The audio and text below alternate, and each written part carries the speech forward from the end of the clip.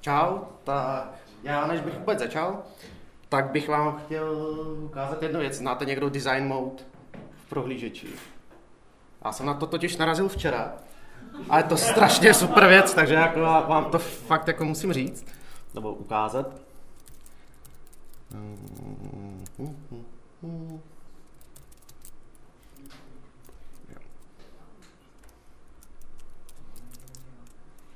Doufám, že to bude podporovat. No, ještě jsem to napsal blbě. Co tam píšeš? Co je tady? To je ono. Design mode. Tak právě by to mohlo fungovat.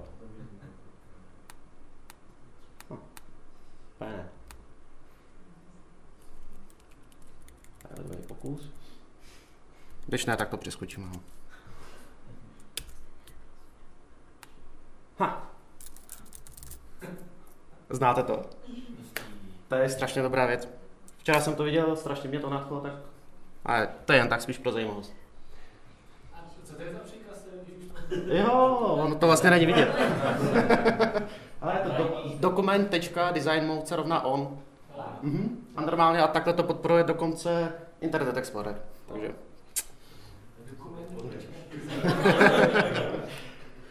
No. Jo, super. No, nicméně tady nejsem kvůli design modu, ale a, já jsem Artyom. Dneska bych vám chtěl něco říct o konfiguraci na té aplikace. Je to vlastně, když já jsem připravoval tu přednášku, tak jsem zjistil, že spousta věcí, jakože opravdu si myslím, že tak 95% procent z toho je popsaný v dokumentaci.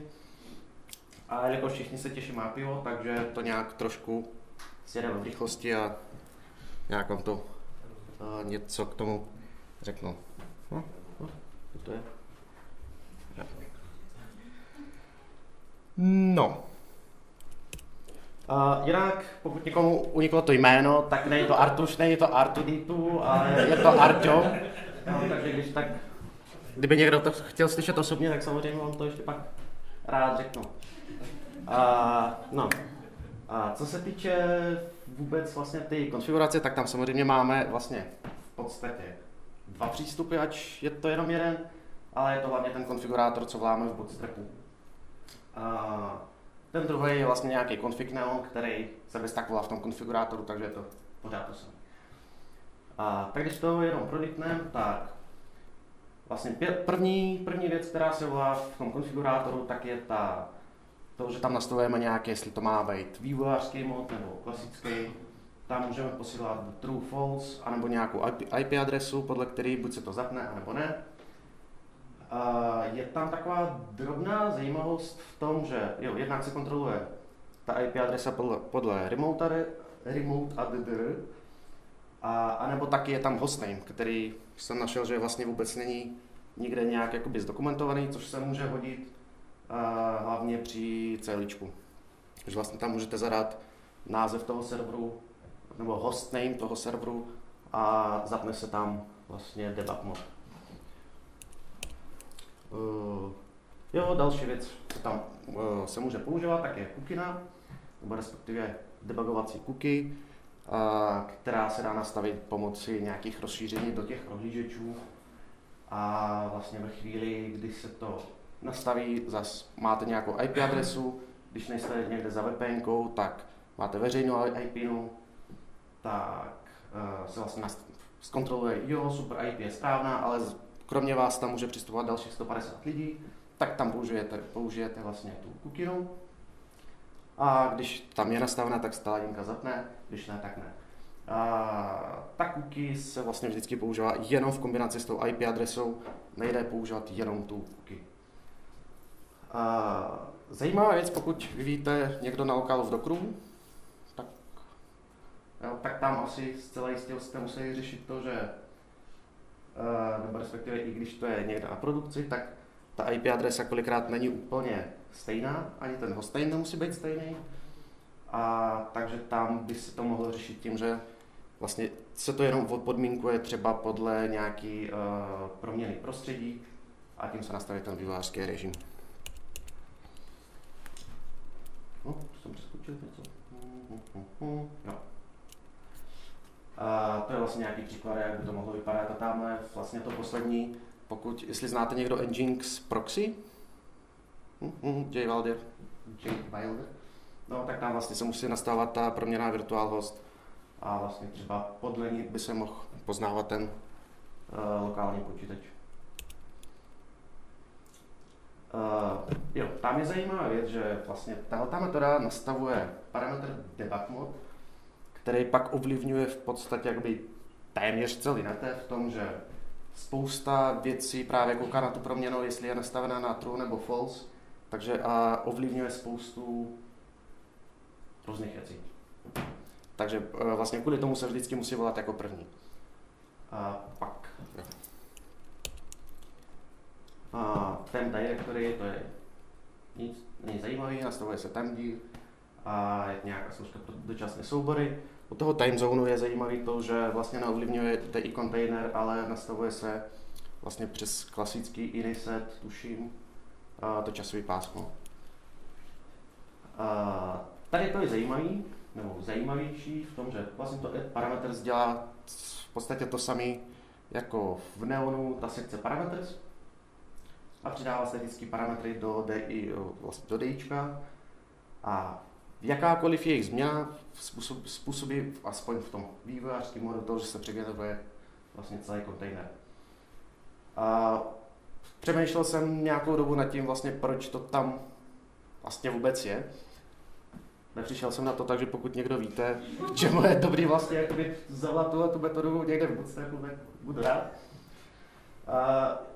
U toho druhého způsobu vlastně ty dynamic parameters, tak tam je to o něco zajímavější, tam to spočívá v tom, že ty parametry, které předáváte, nespůsobují přegenerování kontejnerů ve chvíli, kdy se změní jejich hodnota. Jo, to znamená, že můžete, tady mě napad, a dokonce jednou jsem to použil, v případě, že se vám nějaká konfigurace vlastně refaktorujete nějakou starší aplikaci, máte nějaký config, který si třeba načítá z databáze nebo nějakým způsobem a chcete ho dostat vlastně do kontejneru, tak tohle je úplně ten super způsob na to, abyste to nemuseli nějakým způsobem přepisovat do toho parametr, nebo to vlastně ani nemůžete, protože oni se generují dynamicky. Uh, ale jako než abyste nějak složitě refaktorovali tu celou aplikaci na to, abyste tam ty parametry dostali, tak se dá použít právě tohleto. A jediný způsob, jak, uh, nebo co způsobí vlastně to přegenerování, že když změníte buď vlastně ty kýče, ať už tam něco přidáte, změníte to, to už je pak to jedno. Jo, v té dokumentaci vlastně se uvádí třeba env proměny, které většinou zůstávají stejný, a, ale ta hodnota se v nich mění. Uh, ad services. To je taky strašně super věc protože vlastně vám umožňuje, jak vlastně registrujeme služby v servisi, tam přidáte tu klásu, to se dostane do kontejneru, nějak se pak někde vyžaduje, všechno super, ale ve chvíli, kdy už vlastně ještě než nastartuje ta aplikace, než se vytvoří kontejner, tak vlastně můžete tu instanci vlastně nějaké služby vytvořit tak, jak ji chcete, případně opět v případě nějakého refaktorování to můžete vytvořit, nebo už ji máte vytvořenou předtím v té staré aplikaci a chcete ji přidat do kontejneru, tak vlastně jenom přidáte ten objekt, tu instanci uh, služby do tady toho Ad Services a ono najednou na, uh, to máte v kontejneru, můžete to vyžadovat v konstruktoru, super věc. Uh, jak takhle se to zapisuje, jediné co, tak se musí uh, přidávat vlastně to imported true, aby kontejner poznal, že to je vlastně ta externí služba, kterou tam chcete přidat. Zase já jsem kdysi to použil u starší aplikace, kde se používala Divi. No, to je takový ten hezký příklad toho, jak, jaký okamžik to použít. Máte Divi, všude se volá nějaký, nějak staticky, ale zase víme, že Divi má connection třídu, která je furt stejná, takže vlastně a chcete začít refaktorovat tu aplikaci, takže někde chcete používat už normálně ty závislosti přidávané přes konstruktor, někde chcete přidávat nebo používat stále jakoby furt to statické volání, takže vytvoří se DB, connect, všechno možný, pak získáte tu connectionu, connectionu a uh, vlastně v tu chvíli tu connectionu máte v kontejneru a je to přesně ten, ta stejná connection jako v tom DB Connect. Jo, což je Samozřejmě pak vám to dává jakoby větší prostor k tomu, že můžete postupně uh, refaktorovat uh, způsob, jakým se připojujete k databázi. Uh, Tracy. Tady asi nic moc zajímavého. Jo, jediná zajímavá věc, která je tak ve 2.4. To mohlo být pole. Uh, ve 3.0, jak se zavedly typy, tak už je tam jenom string, ale zase to můžete trošku tak jako odčůrat tím, že to oddělíte čárko a on si s tím poradí.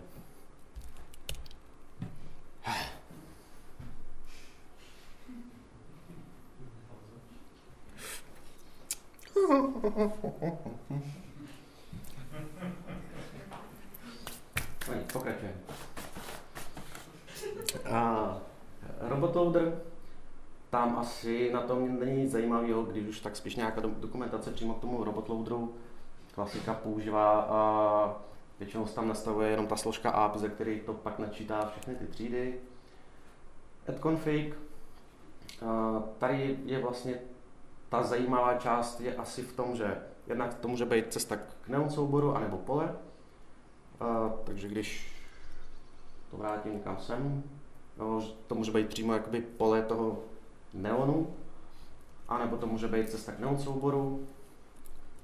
S tím, že často si, já jsem procházel fórum, vlastně nějaké dotazy ohledně ty konfigurace, těch konfigů a tak a často se tam vyskytoval právě ten dotaz, jak načítat jiný neony podle domény, tak v podstatě asi tak. Jo, je tam vlastně, to zkontrolujete jenom podle server name a je to takové asi nejjednodušší řešení, případně pokud chcete, aby při eh, volání z příkazové řádky se volal zase nějaký, nebo se načítal jiný neon, tak se to dá udělat nějakým takovým způsobem. Se tam zkontroluje, jestli je to celíčko nebo ne. Uh, On compile, to je vlastně událost, nevím, jak moc se používá, já jsem ji nepoužil teda ani jednou. Ale každopádně eh, je to, ta událost se volá až těsně před vygenerováním toho kontejneru. A je to vlastně jako, jak tam píšu, poslední šance upravit to nastavení. Takže vlastně ve chvíli, kdy si stáhnete nějakou knihovnu, ta je úplně strašně super všechno, na 98% je super, ale ty 2% chcete upravit, tak furt tady je ta šance vlastně něco trošku vlastně už máte připravený celý ten DI kontejner k tomu, aby se uložil. A ještě to tam můžete trošku poupravit. A takže to, v tomhle případě je to strašně super. No. Tak to byl vlastně Bootstrap. Teďka jenom zase v rychlosti prolítneme config now. Tahle z takových tolik zajímavosti není, takže uh, aplikace, a jasně, co tam nastavíme, debugger, error presenter, nic extra zajímavého, to si myslím, že všichni tak nějak víme. Uh, to Silent Links, tak tam bych doporučoval to nechat tak, jak je, protože když už je špatný odkaz, tak je lepší, aby to vyhodil nějakou, nějakou chybu, že, uh, že ten odkaz neexistuje. Uh, pak, jo, tohle je dost zajímavý a to se přiznám, že jsem to rozvěděl až ve chvíli, kdy jsem eh, připravil přednášku.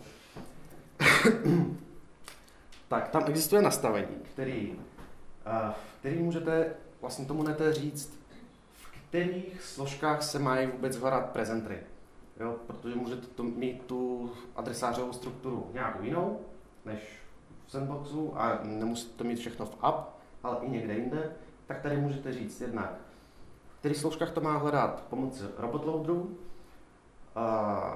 v jakých složkách to má hledat tě, eh, v té mapě, vlastně klas mapě Composeru, pokud já si myslím, že všichni používáme Composer, ale někdo třeba nepoužívá robotloader. A je tam pak nějaký filtrovací slovo, který prostě ty prezentry musí obsahovat. Může to být prezenter, nevím, když se někomu nelíbí prezenter, může tam být Pepa nebo cokoliv. A, no a ty samozřejmě ten nalezený třídy musí implementovat rozhraní i prezenter. Mapping, to je vlastně mapování názvu na prezentera jejich třídy. kdo chcete vědět víc, je to spíš takový trošku komplikovanější a právě Felix má na blogu strašně dobrý článek, kde to tam nějak, nějakým způsobem popisuje, jak to vlastně funguje, jak, jak, co a jak, takže doporučuji. Uh, konstanty, tam asi není k tomu moc co říct. Zase jako přes ten config můžete nastavovat klasicky uh, konstanty PHP, s tím, že se tam volá prostě define, název konstanty, konstanta. Jo, zase jako si myslím, že tohle asi je dobrý ve chvíli, kdy celou tu konfiguraci chcete mít pohromadě, chcete to mít v tom neon souboru, nechcete to definovat někde předtím, potom. Takový hezký. Databáze, tomu, tady tomu asi není moc co říct. Klasické věci. Tady to je trošku zajímavější v tom, že debugger super přidává panel do tracy. To ex- explain, to je defaultně tuším zapnutý. A to dělá to, že vlastně v, t, v ty ukáže uh, k těm dotazům vlastně ukáže rovnou i tabulku s explain, uh, co jak dlouho trvalo, proč a jaký joiny a podobně a podobně. Conventions, to je taky super věc, a protože taky jsem eh, narazil na dost dotazů na fóru, že obzvlášť u začátečníků, když nemají ty striktně dané nějaké pravidla pro tvorbu těch tabulek a spíš názvu sloupců, tak eh, defaultně je tam Discover, což znamená, že ta database projede celou databázi, zkontroluje každou tabulku, podle cizích klíčů zjistí, která tabulce k čemu patří a, a vlastně podle toho se chová. Jo, takže když se vezme nevím, článek, chci získat autora, tak ten sloupec se musí jmenovat ID autor, nebo prostě musí tam být ten cizí klíč a, a tak. Pak je tam ta statická, to je zás o tom, že tam jsou tři parametry, můžete nadefinovat, uh, jakým způsobem jsou tvořeny názvy uh, cizích klíčů, jakým způsobem jsou tvořeny názvy tabulek a jakým způsobem jsou tvořeny, tuším, IDčka, primary key. No a pak je, tam můžete dát název třídy, který zase o to postará. Jo? To statika, discover, to jsou furt nějaké třídy, které tímhle tím, uh, se o tohoto starají. Uh, jo, to autowire, tam je zase další parametr, vlastně, že ve chvíli, kdy máte těch připojení víc, máte třeba dvě připojení k databázi, tak tím můžete vybrat, který se má na, uh, vlastně auto, autovajrovat, jako, jako který se má autovajrovat. jo, vlastně může existovat víc připojení. To první, když existuje jenom jedno, tam je vlastně trošku zajímavý v tom, že se použije název default, stejně jako main nebo secondary, tak v případě, že, nemá, že máte jenom jedno, tak pak dál se pracuje s tím, že to je název default. Uh, dekorátor. To je taky super věc. Uh, je to v podstatě jako obdoba toho on compile, že vlastně tady ještě můžete předtím, než se vygeneruje ten kontejner, tak vlastně můžete nastavit, co všechno se ještě má stát s nějakou třídou. Uh, jo, plácnu. Máme tam v sandboxu nějaký user manager a můžeme říct, že nevím, chci vlastně v tom initialize zavolat, aby se zavolal metoda to setrols, tam nastavím to role prostě napevno, chci to mít v konfigu, nevím proč, ale chci. Jo. A můžeme tam nastavit, jestli se mají používat ty uh, inject, což nechcete, ale třeba. Uh, anebo to můžeme nějakým způsobem otagovat. Jo, ale zase je to pořád obdoba toho on compile, že pořád ještě můžeme udělat něco, než se vygeneruje kompletně ten kontejner. Uh, DIčko tady asi zajímavý je to parent class, že to je, vlastně můžeme vytvořit třídu, ze který vlastně ten výsledný kontejner bude dědit. Zase nevím, čemu to je dobrý, ale, ale je to tam, takový zajímavý. A můžeme vyloučit nějaký třídy, tuším, že defaultně je tam nějaký to standard class, array, access a takový ty standardní třídy vlastně PHP. No a nebo pak můžeme i určit to, že třeba v tom kontejneru nechceme mít parametry z neonu, nebo že tam nechceme mít typy nebo servisy vlastně z neonu, nebo tagy. Nevím proč, ale je to tam. Extensions, tam u toho asi taky není moc co říct. Přidává rozšíření do kontejneru. Hm.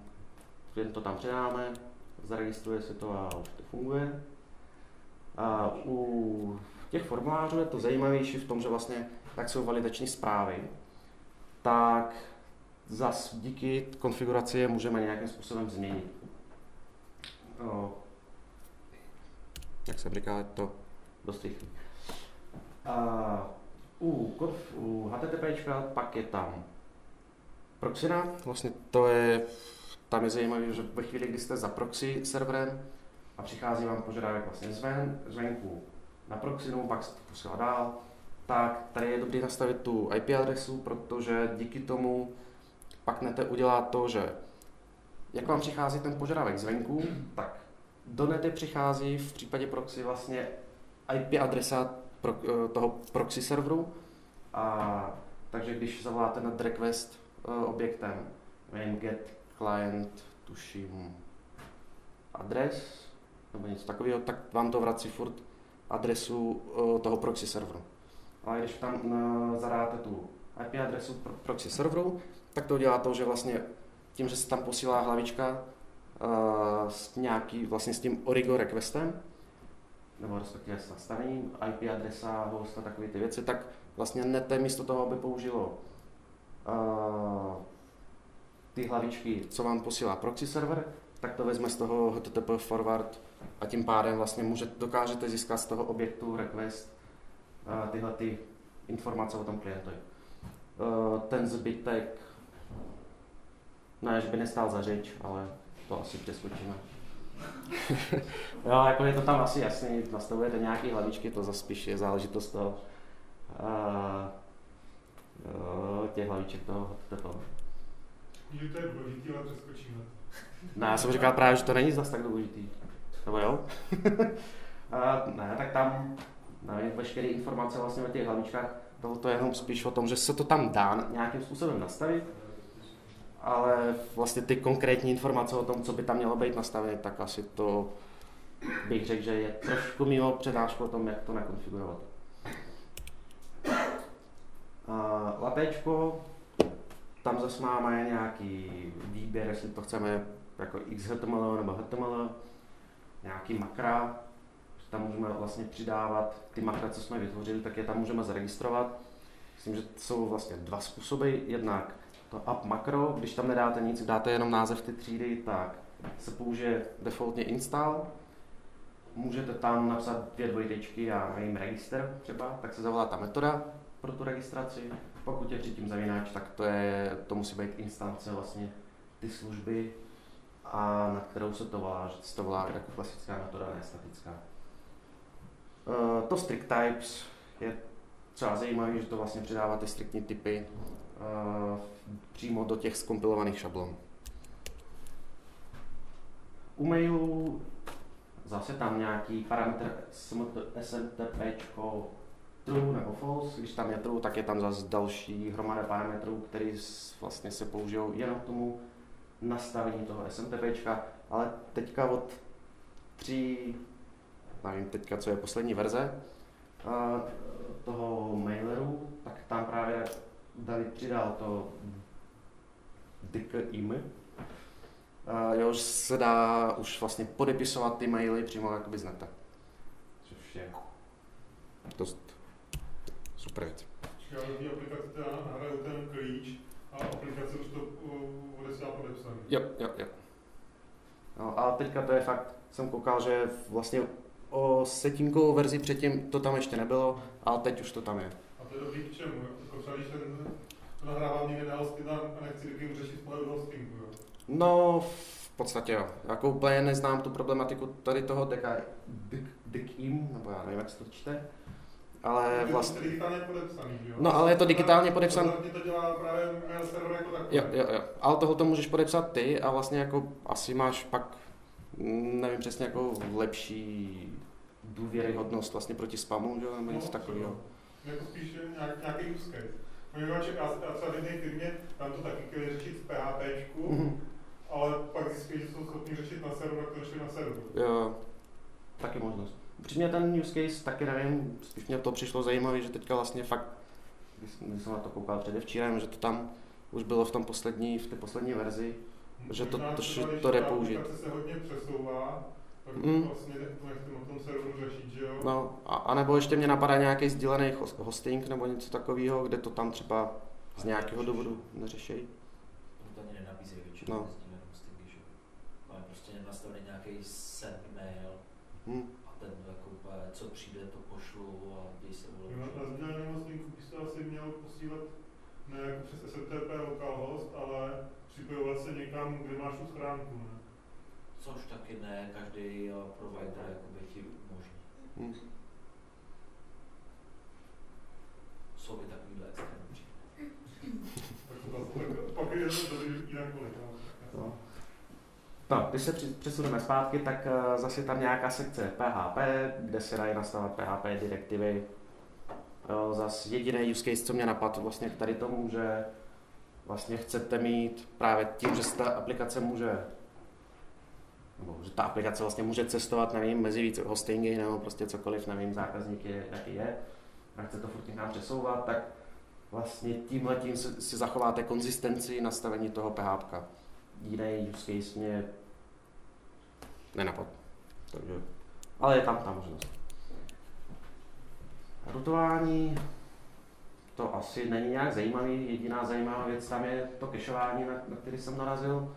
Vlastně se ta, pokud se nastaví kešování na true, tak vlastně to všechno, co udělá nete k tomu, aby resolvlo nějakým způsobem ty routy, prezentry a všechno tohleto, celý ten výpočet, se vlastně nepřidává do kontejneru jako metoda, ale to tam přidá jako výsledek, jo? Jakože, takže ve výsledku, nevím, ty, něčem tam nemáte return, nějaký výpočet, ale rovnou prostě string, nebo respektive nějaký objekt serializovaný, nebo deserializovaný respektive, se vrací celý ten objekt, takže ty výpočty vlastně se nemusí provádět. Nevím, o kolik to je rychlejší, tím zkušenost nemám.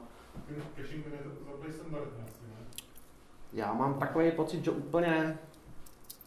No, No, teď, teď, to zapneme, tak bychom měli zvýšit trošku rychlost, čistě teoreticky, jo, ale prakticky si myslím, že to záleží hodně na, na tom počtu těch eh, vlastně rout. To je, ve chvíli, kdy máš pět, tak zaplý, tak třeba protože ty adresy se můžou těch aplikací měnit. no, no, no, jo, jako je to takový... to může dovolit, tak to může pak zapnout. Hm. No, já si myslím, že to má cenu, nevím, ve chvíli, kdy máš tisíce třeba adres, tak jako než abys to rezolvovalo, nevím, pár desítek milisekund, tak jako to máš kešovaný. Uh, tohle to je strašně super. No, o tom jsem vůbec nevěděl, než jsem začal připravovat přednášku. a normálně uh, a tohleto vám vlastně ve chvíli, kdy přidáte do konfigu tohoto sekci search, tak ta, místo toho, abyste registrovali jednotlivé služby do toho config neonu, vlastně ručně, tak můžete říct, hele, tady mám složku services a veškeré služby prostě tam jsou, tak já je prostě nechci definovat ručně, tak tohoto tam stačí jenom nastavit, že v této ty složce hledej služby a všechno, co najdeš, tak zaregistruj. Případně to můžeš od- odfiltrovat podle názvu souboru, podle názvu tříd, eh, dědičnosti interfejsu, anebo naopak můžeme říct, že hele, tohoto tam prostě sice to odpovídá těm filtrům, ale toho tam prostě nechci. Jo, a fakt je to, mně to přišlo stra, strašně super. Jo, obzvlášť ve chvíli, kde opravdu máte veškeré služby jenom v jedné složce a fakt je to pak strašně otravný, furt tam přidávat a přidávat a přidávat do toho konfigu ty další a další a další služby, tak takhle jenom se nastaví jednou, ale tady, tady jsou ty služby, tak si je prostě vem a používej je.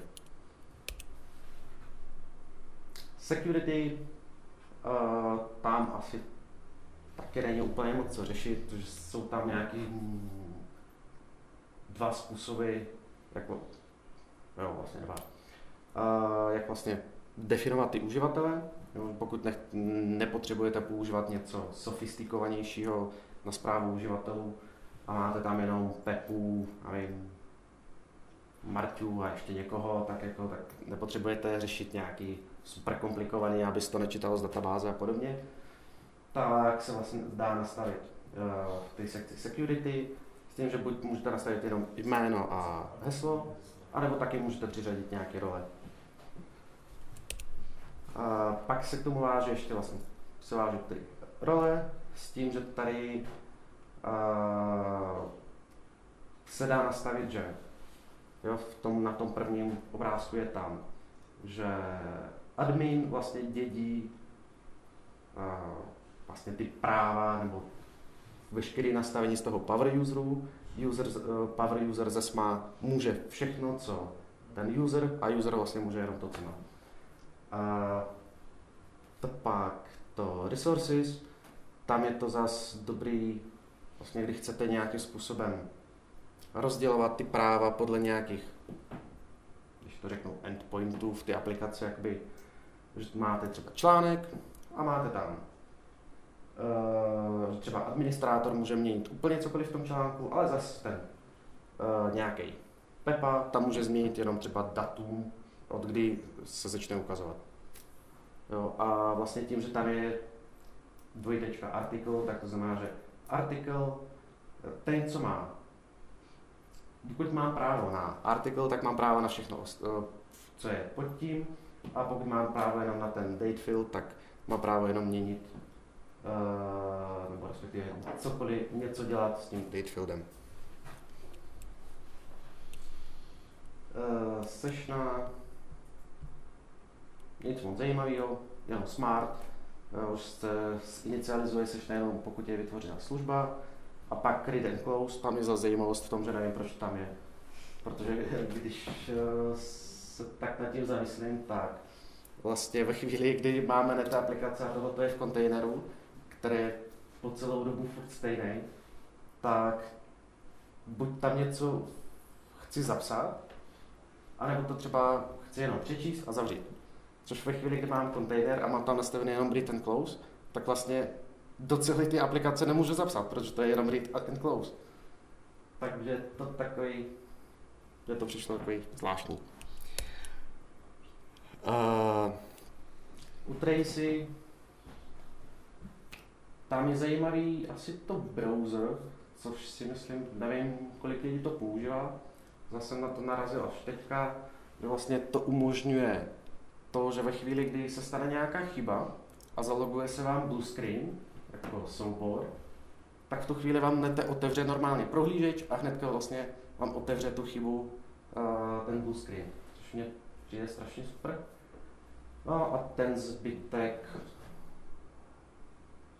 asi nepotřebuje úplně nějaký komentář. Hmm, hmm, hmm, hmm. hmm. Jo, pak pokud právě jak tady někdo zvedal, že používá Docker, tak tam asi se bude hodit ten editor mapping, protože ten vám uh, typicky, nebo aspoň já to mám, že když se mi zobrazí chyba, tak tam je klasika var, www, prostě nějaká adresa k tomu souboru a přitom vím, že vlastně na svém počítači já to mám v home, Artyom, kde si co si, nějaký projekt a ten soubor. Tak díky tady tomu se dá nastavit to, že vlastně když vám vyskočí ta chyba, tak místo toho var www se vám rovnou nahradí vlastně ta uh, vaše cesta, co si tam nastavíte, tak a rovnou se dá prokliknout vlastně v případě, že máte nastavený ten editor, takže po kliknutí se vám uh, vlastně hned otevře ten soubor, což by jinak nešlo.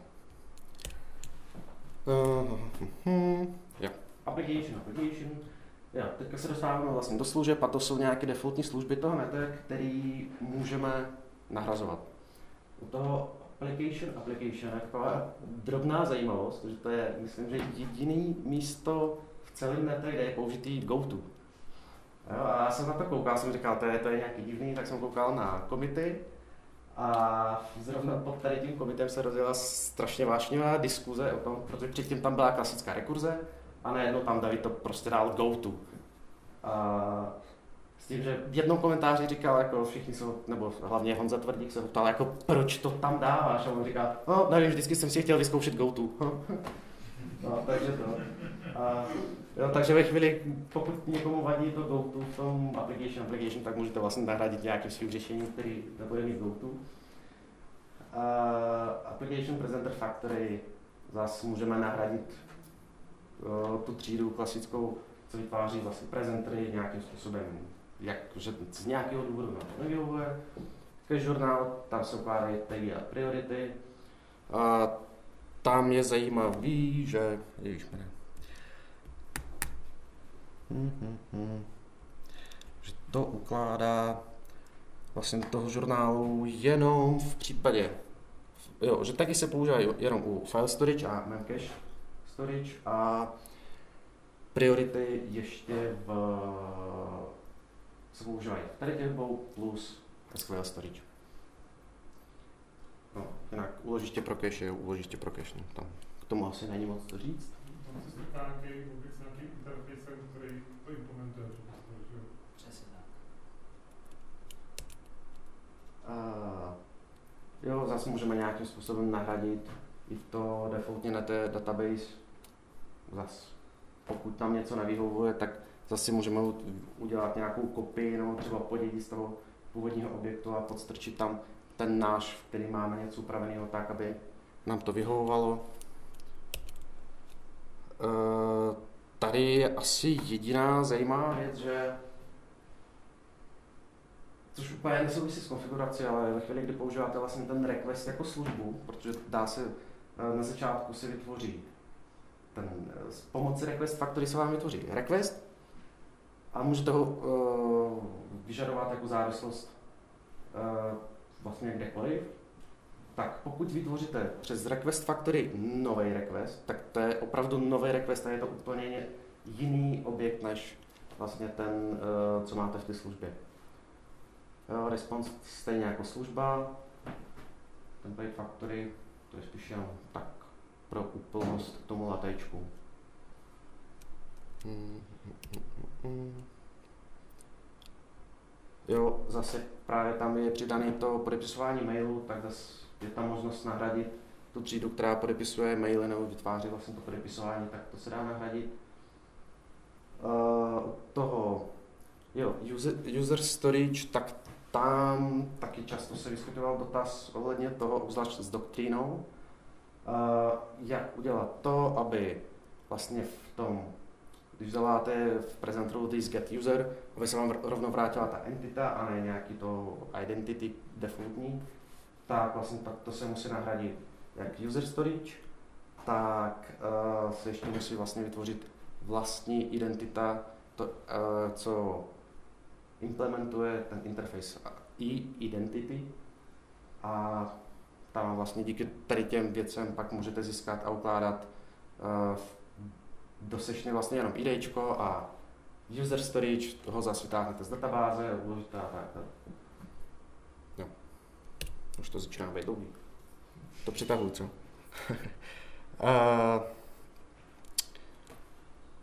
tady zase, nevím, sešna, je jako sešna, tam je zase nějaká 13 zpráva session. Uh, pokud by se vám nelíbil to, že blue screen vlastně je spíš red screen, tak zase si můžete udělat svůj vlastní, aby byl opravdu blue screen. To je vlastně ta obrazovka, co s chybou, co se zobrazuje. No, a už jsme na konci. tak jestli máte nějaké otázky, co ještě nezazněly. Ten Dream je teda v tom, jdete do trojky, jo? A hele, to není to od trojky, je to od 3.0, co si. Teďka ti z hlavy nevím. Ale fakt- je ten slide? Cože? Který? S tím... A, tenhle. Čili v nějaké verzi od trojky to tam je. prostě. Jo, jo. Teďka myslím ta poslední vlastně, co je.